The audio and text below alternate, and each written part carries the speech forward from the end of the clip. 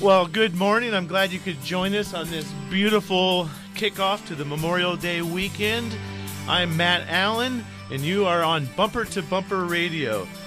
Dave Riccio has decided to take the weekend off, and I guess he deserves it since I think I've been gone about five out of the last uh, six weeks, and he is out celebrating his wedding anniversary with his lovely wife. So, again, we're here on Bumper to Bumper Radio every Saturday from 11 to noon right here on KTAR. And we're here to help you with your car, you, the motoring public, so that you can have a better overall car ownership experience, repair experience, whatever it may be related to your car. We're here to help you. Maybe it's a repair question. Should you sell your car? Is it time to get a new one? What new car do I want to get? We can help you. And I've brought two guys in to help me. But first, you need to know if you want to get involved with the show, you have a question that we can help you with, don't be shy. It's 602 277 5827. 602 277 KTAR. And on the bumper to bumper roadmap today, we have racing technology. Does it make it to your street car? This is a big motorsports weekend in the gearhead and uh, racehead in me enjoys that. Proper maintenance of your belts and hoses. And two guys, like I said, here to help from the Bumper to Bumper Network. We've got Dave Denman, owner of Dave's Car Care, 51st Avenue in Peoria. That is a landmark there, 35 years, I think, on the corner. Dave has been there. And Tim Nelson, manager of Virginia Auto Service in Central Phoenix. Great, great to have you guys here and welcome. Dave, you have been going through a tremendous amount of remodeling over there at your shop. Uh, the place is, well, by any standard, before you even started, the place was uh, probably uh, immaculate by anybody's standard, but you have taken it over the top. You want to tell me a little bit about that? Well, we looked at the current technology, the automobile today, and we felt like that we needed to take our facility to that level. So, uh, you know, Matt, one of our heroes is Penske, the guy that knows how to do it right. He's a winner. So we went out and uh, looked at his Lamborghini, Ferrari, Bentley shop, and uh, we use that as a model. So what we've done is we've customized the facility with all matching cabinetry and toolboxes. We added a uh, self-storage working area to get all the clutter out, and uh, I love the end result was my 82 year old father that's been 29 years in the aviation business statement was it's just too clean to be a garage. Well you know it's nice and you reference roger penske. And, and uh, i'm an indycar fan and dave's a race fan and, and penske sets the standard in that arena. And, and what dave's talking about you go out to, to some of the penske dealerships and every thing is perfect. The guys don't have their own toolboxes. They're built-in toolboxes. They all have their own computer workstations. And that's the model that you've adopted. It's everything. It's all branded about Dave's Car Care. And truly and it's just like all the other bumper to bumper shops. You're not doing business with oh I don't know you're not just doing business with uh, with brand X box store or by 25 um, 25 chain, uh, not not franchise, but you know, a, a, company that has 22 shops. You're not doing business with a family business. That's what you're doing. Virginia Auto Service, Dave's Car Care, uh, you know, all the bumper to bumper shop, Larry Harker's. Combs Auto, Shadow Mountain Auto Care, those are family businesses, and you get personal service, you get the attention, and God forbid there is a problem, it's one step up the ladder. It's one phone call to get to the decision maker. Well, that's and, absolutely and that's true, like. Matt. Because you know the thing about the bumper to bumper network is, is you really have an opportunity to build a relationship with your service provider, which is unique in anything today, whether it be air conditioning, plumbing, electrical.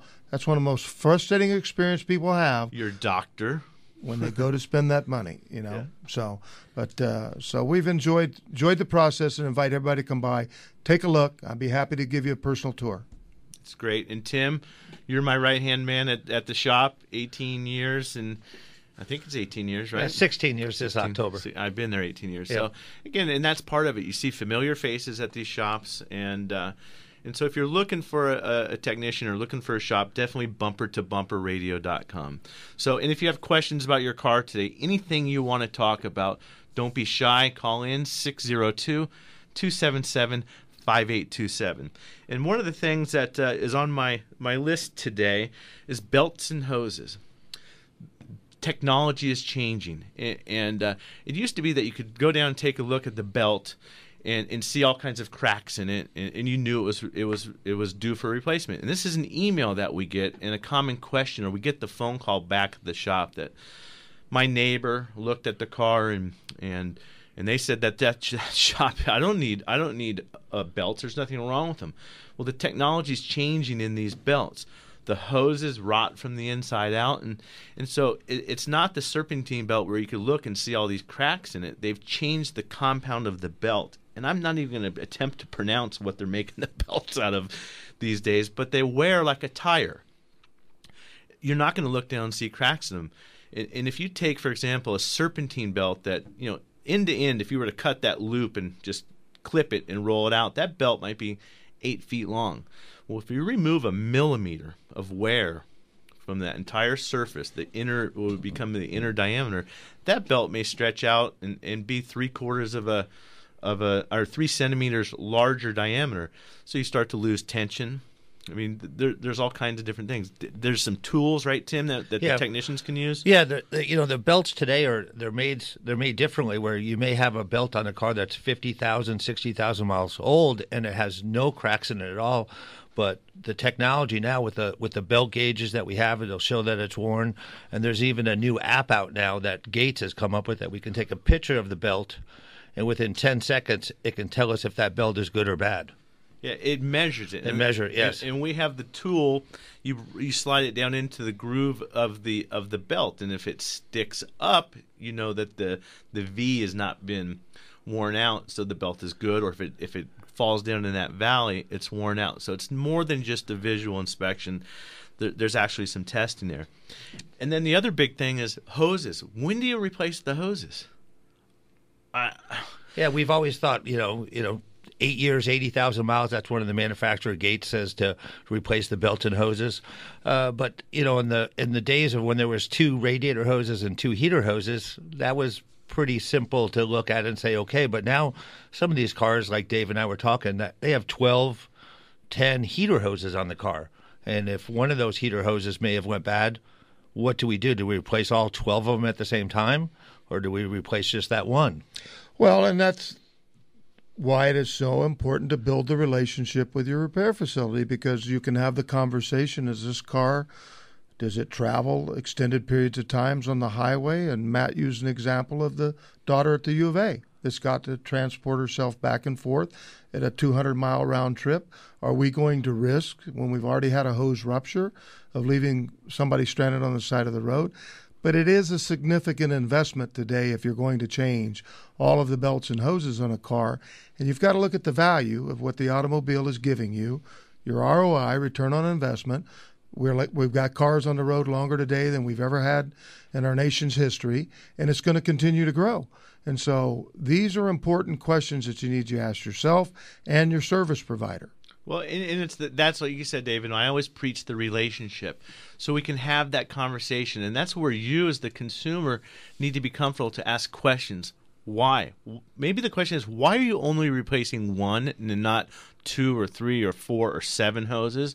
Or the opposite is, why do you want to replace all eight? And so a lot goes into that. Like Dave was saying, is this car, you know, grandma running around town. She goes to church and the grocery store twice a week. She's aware of her car and, and she's pretty astute to leaks and, and, is conscious of those things.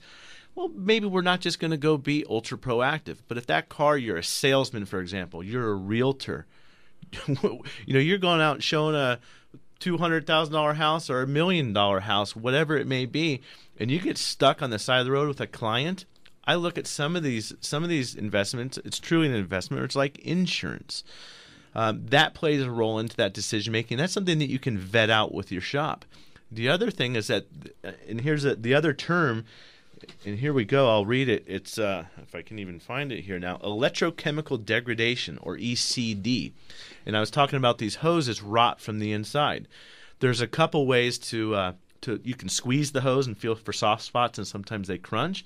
But truly, that the cooling system is creating electricity, and and it's just rotting and deteriorating the hoses. So if you haven't taken care of your cooling system, maybe a car with 90,000 miles on it, but it's had two cooling system flushes, probably doesn't need hoses. Maybe the car that's got 90,000, but the coolant's never been changed, it might. So and that's if, a recipe for disaster there. If you have questions about your belts and hoses, anything to do with your car, we invite you to give us a call and don't be shy. 602 277 5827 602 277 KTAR. My pappy said, Son, you're going to drive me to drinking if you don't stop driving that hot rod Lincoln. Bumper to bumper on News Talk 923 KTAR. Well, welcome back to Bumper to Bumper Radio on a beautiful Memorial Day weekend. Uh, good way to kick off the weekend. And I know uh, a lot of us, it's been a tough week in Phoenix this week. We, we lost, uh, lost a firefighter and a police officer last week. And uh, so it's it's uh, you know we just our hearts go out to the officer Daryl Raetz, uh, his family. Saw some of those pictures. You know, I've got young daughters, and and I thought that was really cool how all 200 of those cops went to her graduation from kindergarten. It w- it was neat, and and he's being honored today. I think it's happening right now, and uh, you know a lot of people are out lining the roads. It's really really nice to see. So that just brings up another point. You know, Memorial Day weekend. It's about the soldiers who lost their life, and, and this officer was a uh, was a soldier, served in Iraq uh, a couple times. He was a uh, an airman or a uh, a medic, and uh, this is a DUI that caused this.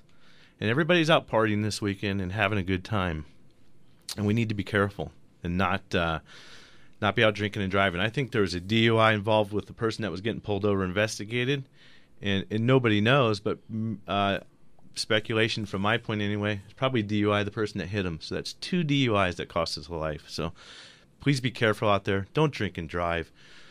That's the worst thing that could happen. The best thing is you get a get a ticket or or uh, you know don't hurt yourself and you get away with it. But get a cab and be careful.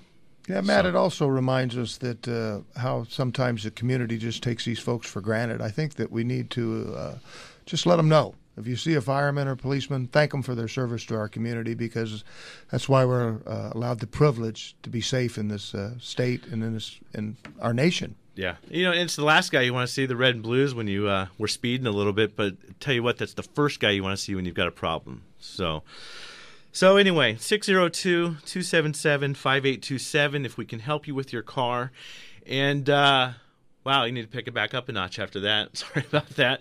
But uh, racing, everybody knows, or at least a lot of people that listen and my friends know, I'm a I'm a, a motorhead. Love racing.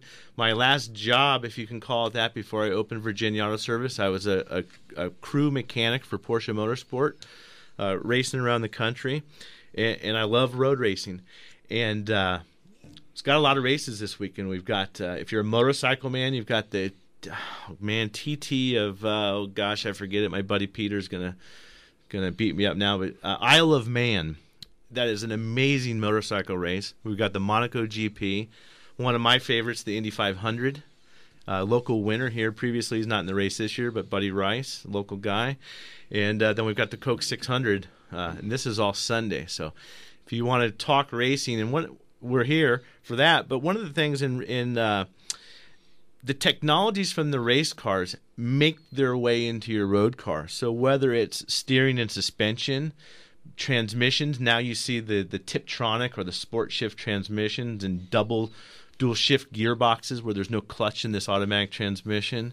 Uh, definitely the tire technology, Dave. What else? I mean, I know you're a you're a race fan. You're a NASCAR guy. Well, steering and suspension, shock absorbers, you know, and uh, NASCAR is just, I believe this year they moved from carburation to fuel injected, so we're probably going to see much more technology come out of that events like that. Uh, you know, and these guys got backup systems for everything, so I, you know, I'm sure manufacturers are paying attention to that. You know, the one thing in racing, not the one thing, but one one of the many things that I would like to see in a street car now that they have in racing is a cooling system pressure warning light. Why? Well, if it's not that you the cooling pres- pressure gets too high. We're gonna have a relief cap for that. If it gets too low, now you know you've got a leak. Imagine what we could save on breakdowns and unneeded repairs if you if we had something like that. Well, just uh, both of you gentlemen, uh, I know you have the memory and the recall of going to someone and saying, "Your car came in, it overheated, you've got no coolant. How far did you drive it?" I drove it till it quit. What's the end result? An engine. Well, and, and I've had a lot of a lot of guys or whatever they want to want to you know beat up not physically beat up on their son or their daughter or their wife or whatever say gosh didn't you see that light the, the warning light was on? I said no it wasn't because the problem is the coolant has leaked out and there's nothing to make that heat transfer to the sensor so it's not turning on the light. So yeah, that light can't read air. yeah, it doesn't. It might go up a little bit. So we've got some open lines. If you've got questions, 602-277-5827, 602-277 KTAR, and we've got Lee in Scottsdale calling on his 2004 Chevy Silverado. Lee, what can we help you with today? Yeah, uh, I've got a problem with the uh, air conditioner. It uh, it happens uh, just very rarely, but I'm driving along, actually just a slow pit, uh, uh, at a slow pace in the in a parking lot, and the air conditioner just cuts off. It's just, uh, it starts blowing uh, warm air. Uh, I turned it off and let it set for about a oh, half an hour. I turned it back on, and it's back on again. Now this has happened several times in the past, and I just let, turn it off and, and uh, uh, let it set for a while. And the, I turn the air conditioner back on, and I get uh, cold air. Lee, will that ever quit working when you're just driving down the highway, running your errands, or, or you're going around, or does it just fail? And, and and when it's when you're doing that, is it always blowing cold air? And then when you when it does stop working again, is does it actually blow hot air, like heated air, or is it just blowing ambient ambient temperature air? No, it, it's blowing hot air, and it doesn't. Ha- it hasn't happened when I've been going quite quickly on the on the uh, uh, road it usually happens most of the time when, when I'm just going small uh, at a, uh, a, a, slow pace.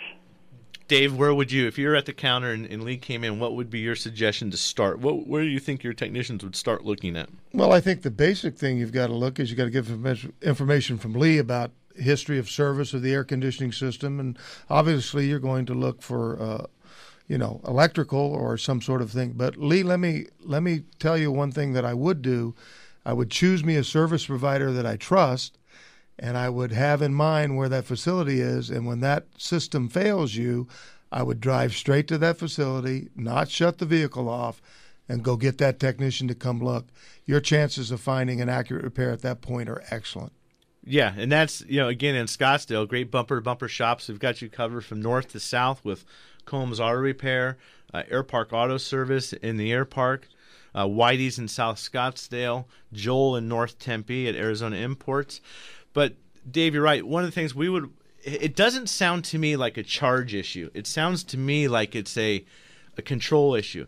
And these these even the pickup trucks, they're sophisticated. These are these are Cadillacs, so to speak. And there's electronic controls in the dash, and they're gonna they have heat the blend doors and mode doors. Mode doors are gonna tell it to come out of the dash come out of the vents for the floorboard or the defrost.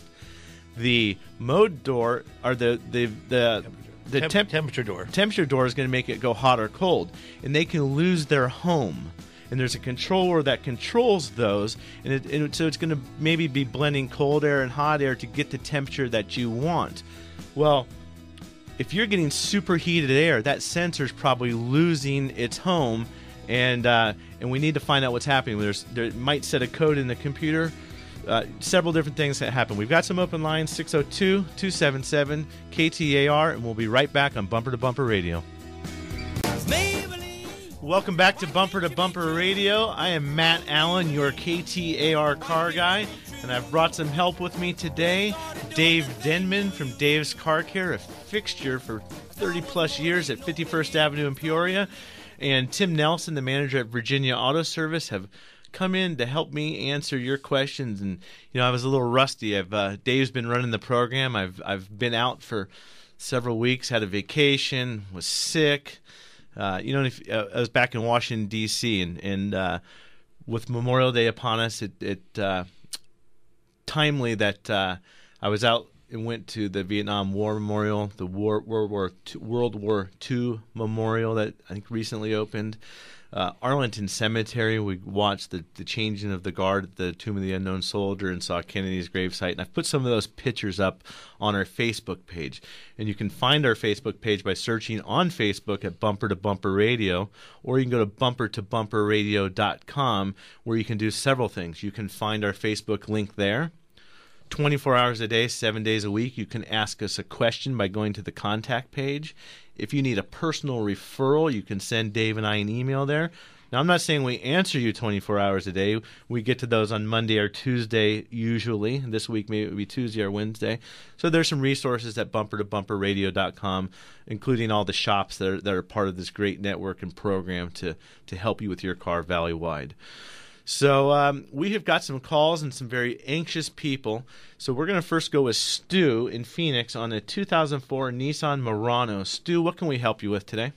Yeah, I got a 2004 Nissan Murano, and the uh, it's got a clicking noise coming from the transmission area that follows the RPMs up and down. Um, it's really prevalent when it's cold, but when it's when it warms up, it seems to only do it. Uh, like if you if you're traveling on the freeway, if the uh, the RPMs are keeping up with the speed, you know, it, but if you accelerate or decelerate, the the clicking noise goes away. Now, it, does that clicking noise? You answered what my first question I was about to ask you was: Do you have to actually be moving? But so that which you do. But the next question is: Does that speed differentiate with the speed of the engine and the RPMs, or does the the frequency change with the speed that you're traveling down the road, the vehicle speed. The, the RPMs. Be the RPMs.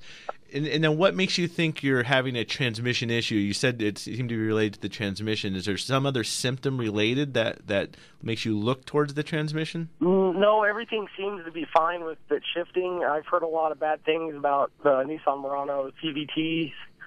So, and I, I've also heard uh, I've, I've read forums where they say, you know, people said the clicking noise is normal, that it's just these these transmissions make this sort of noise. I'm not a whole 100% for sure. How many miles are in this car? About 160,000. And then how long have you owned it? I've owned it for about the last three years. Okay, perfect. Dave, you were about to say something. What are you thinking? Well, I'm I'm trying to number one, he answered the key question: what's the mileage? But what's the service history? Because some of the fluids today they lose the ability to lubricate and that. But I did learn learn something from Dave Riccio the last time I was listening to the radio show. Can you duplicate the noise from us and give us an idea of what it sounds like? Yeah. Well, Stu's on hold, back on hold again, but I'm not going to make him make funny noises or anything. But there's a couple other things that come to mind. We needed to get it into a shop, and let's determine if that noise is really related to the transmission or if it's if maybe it's something in the belt drive system. We were talking about belts today, and and and several things are overlooked when people are replacing belts nowadays. That is a belt drive system. There's tensioners and idlers, and that belt is winding around. And that belt tension is so important to keep the air conditioner working right, the alternator charging right, so what we'll do in the shop sometimes, well, first we want to duplicate the noise. Try and go for a test drive with the technician if you can, or the service advisor, and, and get the noise to happen again. And then we may look at maybe the next best thing to do is we'll just take the belt off and run the vehicle without the belt. Well, if the noise has gone away, well, it's then it's it's something in the belt drive system. If it if we identify that it's, it's the middle of the car, then we maybe be looking at the transmission area or torque converter or something like that.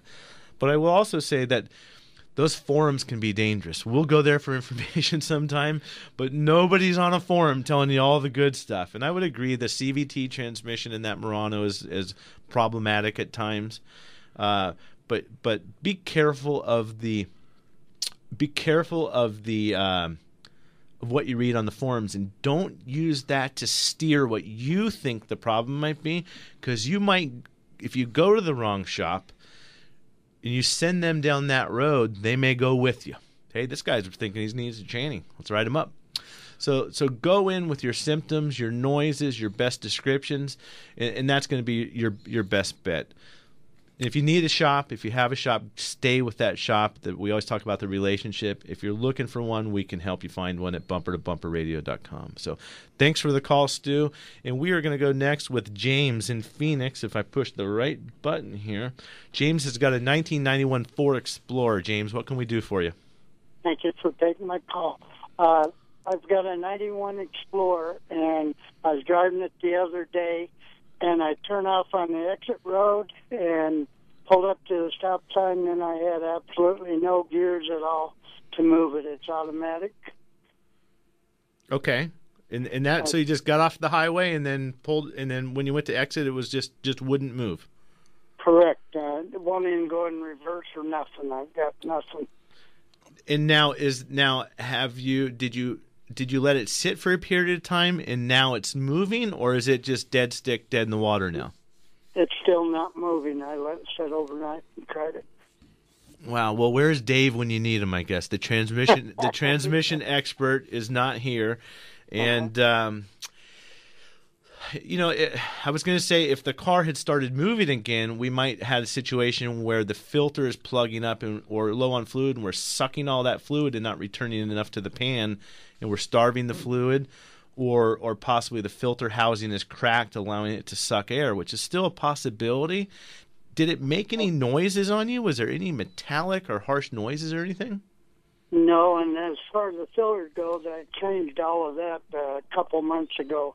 It just absolutely makes no noise or don't move or anything. James, let me ask you, why did you change that stuff? Did and did you do it or did a shop do it? And what was the basis for making that change?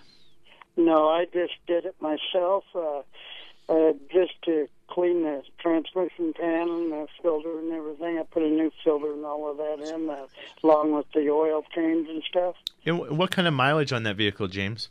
It's about a hundred thousand. Okay. Well, I bet that you're. I, I'm leaning towards there's nothing wrong with the transmission. And I say that now because you went in there and you did a service. And it sounds like basically, you know, if you were able to do that, I was I'm going to make the assumption that you're pretty mechanically inclined. So I guess what I would do if you if you want to do it yourself and, and have the satisfaction of fixing it, or maybe you can look at the mirror and get mad at yourself. Maybe I bet that you're going to find if what I would do if I were you, and, and I suspect what you'll find is you need to remove the transmission pan, very carefully do that. If it has a drain plug, try and get that fluid out of there first. And I bet you might find that filter just sitting in the bottom of the pan. It, the pump is not sucking any fluid off out of the pan because maybe you didn't get the O-ring that sits on the top of the filter where it, it, it goes up into the pan. Maybe you didn't get the old one off and you double O-ringed it and it fell down. Maybe the O-ring rolled when you pushed it up. Dave, what I mean, that's That's the first place I'd start. If you had the vehicle towed to me and I heard that story, I would go back to the basics of let's look at what we changed first before the car was operating properly in that. And uh, I think that'd be a good good marker for you to start on. Especially combined with there was no noises or anything like that. So if you need a good transmission shop, Tri City Transmission, they're in Tempe, Rio Salado, and the 202 right there by the Tempe Tempe Marketplace, and and they're not. Uh, you know, when it comes to needing a transmission, I think you know Dave says the overwhelming majority of the time people don't need a transmission when they come in there. It's an electronics issue or something else happened. But an investment like that, you want to be at your regular shop or you want to be at a transmission shop. And that's, you know, from Phoenix to Tempe there, it's worth the drive. You're going to drive a long distance to buy a new refrigerator, a new washer and dryer. You're going to find the place. And, and when it comes to transmission, that's uh, a good idea too. So, James, thanks for the call. We're going to go with uh, David on his 1990 K2500 pickup, Chevy pickup. David, what can we help you with today? Hi, how you guys doing? Um, I'm calling today. Um, my uh, horn they stopped working. Um, the in the steering column, the little plastic where the spring goes in was broken, so I replaced that. And then now I'm not getting no horn. I hear a tick when I push the the horn. I put my meter on the horns where the on the wires. I'm getting 12 volts on both horns, but the horns don't work. And um, if I hook up the horn directly to the battery, they come on. Okay, so d- that truck does not have an airbag, does it? It don't. It doesn't have an airbag. Okay, well, and then where do you hear that click noise from? I hear it like uh, underneath the dash somewhere. Okay. Well, what I'm thinking is that click noise that you're hearing is the relay. The and relay. It, yeah, it's the relay clicking, and, and it's the circuit being completed through the button in the steering wheel, and that horn, that relay is clicking. Your horn, I'm not sure off the top of my head. Does that horn always have 12 volts, or is it waiting for 12 volts and it's grounded? I'm pretty sure it's always grounded with the body of the horn, and then it's got a 12 volt supply going to it, right? Right. Okay. Well, But what you what- can what can happen? I'm sorry. What can happen a lot of times, and, and we used to see the problem on on Nissan. Well, it doesn't matter the the car. We used to see it with Nissan starters. They call it a clutch inhibitor switch. But you can put 12 volts across a across a hair, so to speak, an ultra fine piece of wire. But it's not the voltage that makes that horn honk. It's the amperage. You've got to carry enough amperage to the horn. So, Dave, what or Tim? Tim, you're not a technician. You're, you I'm still but- thinking the horn relay. Well, yeah, the horn relay is is one. It's probably the easiest thing to check, and and this thought process that I'm thinking out loud, that's exactly what the technician's doing. We're going to get a, maybe a wiring diagram. I look at the wiring diagram like a road map. You need to know where you need to go. You need to know where you start and what are all the roads in between. The easiest thing for you, and it sounds that you've got the meter, you've got the background probably to check this, but the simplest shortcut, go switch the relay. There, you're probably going to find four or five relays down there. Unplug one, look at it, mark it first, and then maybe you take the fuel pump relay. Maybe it's the same relay. Well, I guarantee if the truck doesn't start, you found the bad relay. But if maybe the blower relay or whatever, whatever relay that plugs in the same, and then honk the horn. I bet the contacts in the relay are bad. Yeah, and I bet you can find a uh, component locator relay comp- uh, online. Just Google it, and Yeah. uh, it'll probably show you right where to go. And like Matt said, it's a real quick fix. Just pull it out, plug it in, see what you got.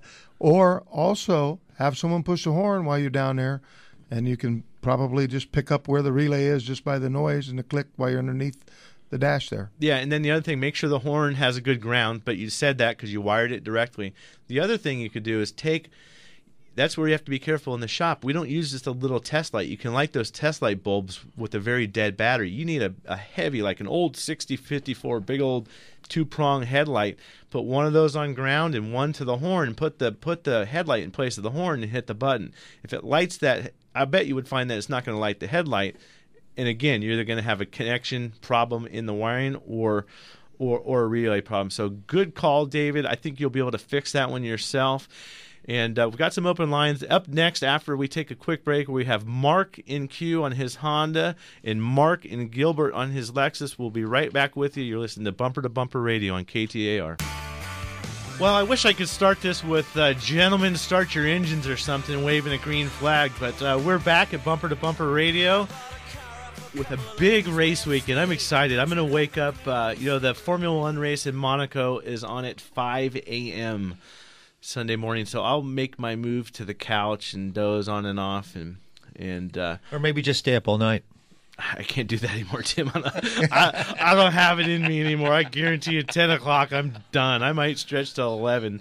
Uh, but but not going to happen. So Indy 500, big day. Uh, it, it's it's my exciting day tomorrow. So, but today, I am here to help you with your car. So if you have a question, give us a call. We always take every call. So if you have a call and we don't get to you during the show, don't hang up because I stay after and I answer calls.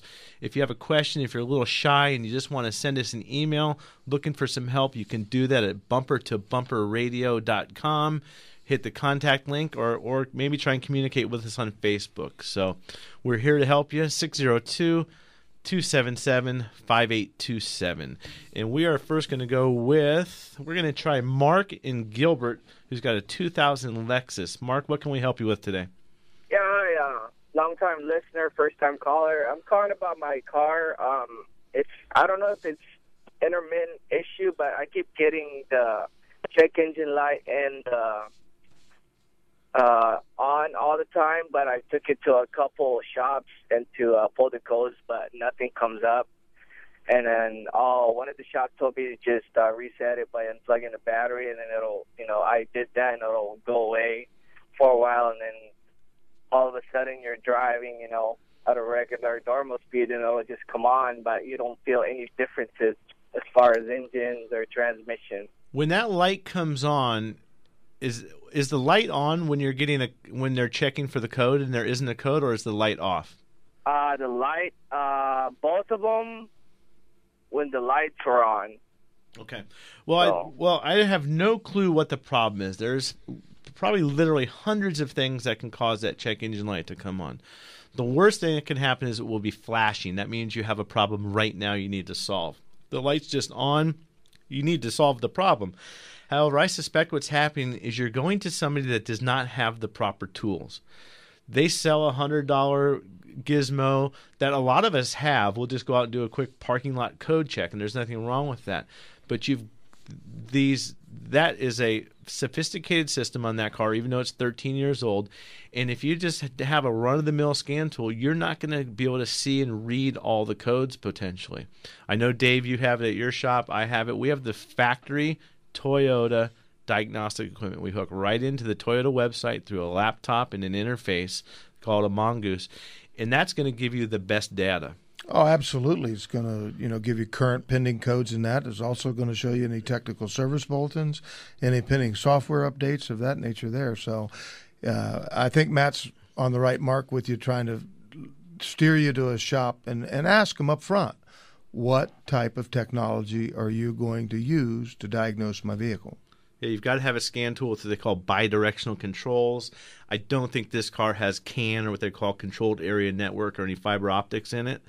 So you need a shop, and the good shop in Gilbert, Desert Car Care. Depending on where you are in, in Mesa or in, in that area, I get a little lost in the East Valley. Mesa Auto Works is a great shop out there, but try them out at bumper-to-bumper-radio.com and don't settle for, uh, the light doesn't come on, don't worry about it. That light comes on because there's a problem. That doesn't mean maybe you're going to break down today, but you need to get the get the problem solved. So thanks for the call, and we're going to go with um, another Mike, Mike in Phoenix on a 2004 Honda Accord. Mike from Phoenix, what can we help you with? Mike, are you there? Well, it doesn't look like Mike. I'm here. I'm oh, here, okay, Mike. What can we help you with on your Accord? So, uh, thanks for taking my call. I got so since I've had the car uh, in 2004, I've had to change the battery about five times, but three of those in the last 18 months. And my most recent battery I put in was in October, and then just last week the battery died again. Um, any thoughts? I mean, the dealership said nothing's wrong with it when I when they told me there was only 30 percent or whatever it was a couple weeks ago. Hey, Mike, what brand of battery are you changing out? Uh, I'm not sure. I just took it from O'Reilly. Okay. Well, I mean, that's an Exide battery. They're probably a decent battery. I can't imagine that you're getting a bunch of bad batteries. Um, I like Delco batteries. Uh, there's Interstate are good brands. Exide is what I think they have at O'Reilly, which is probably just fine. But I suspect you have a weak alternator. We've been talking about belts, the belt drive system. If you've got a loose belt, possibly not not spinning that alternator at the right speed, harmonic balancer slipping. Tim, you're chomping at the bit. Has anybody done an actual charging system test on your car?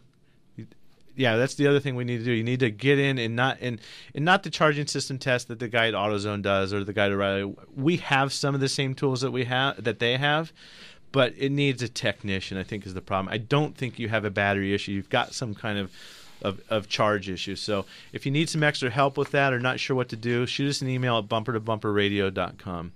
And uh, I'm going to put myself on the spot here. It's been a while since I was a technician. I, my last technician job was at Camelback Porsche, which is no longer there. But I'm going to give it a shot. Marcus, calling from Scottsdale on his 03911. What can we do for you? Hi, uh, thanks for taking my call. Uh, uh, I have a question for you. I have a, a, a, a 03 911 Turbo. Um, it's been tuned a little bit, but um, uh, it keeps going out of gear when I underload. When uh, out of third gear in particular, it keeps going, popping out of gear. And I was wondering if you thought that was a, a clutch problem or a synchro problem. And this is obviously a manual transmission, so I would be looking.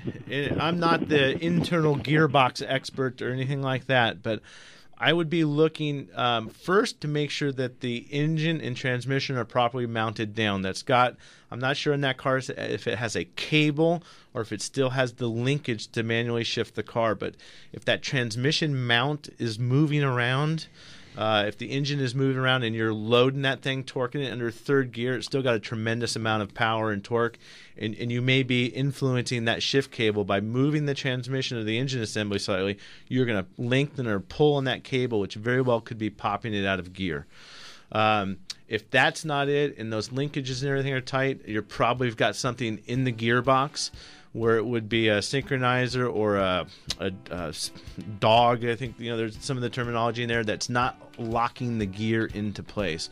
So that's where I would be looking, and that's something that's definitely you want to have a specialist for that. I wouldn't tackle that transmission any longer. Dave at Tri City might, but if you need a Porsche specialist referral, please give me an email at bumper to bumperradio.com. So, Mike from Scottsdale, we are not going to get to you, but I'm going to help you with your car off the air in just a minute. So, Dave and Tim, Dave's Car Care in Peoria, 51st Avenue, Tim, Virginia Auto Service, thank you for coming in to help